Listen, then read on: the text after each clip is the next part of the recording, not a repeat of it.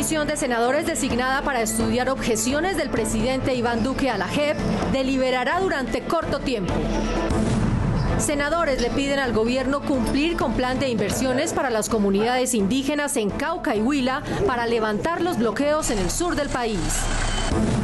Incluyen en el Plan Nacional de Desarrollo un artículo para sancionar los abusos y especulaciones con viajeros de aerolíneas. ¿Qué pasa con los precios de la gasolina? Desde el Congreso insisten en cambiar fórmula para establecer precio de los combustibles y bajar costos.